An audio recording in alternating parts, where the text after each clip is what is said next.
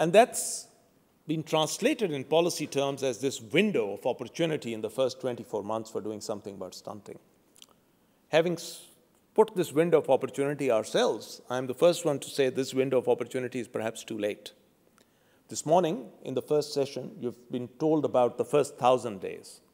Let me also put forward that the evidence indicates that you need to go well before the pregnancy in order to make an impactful change.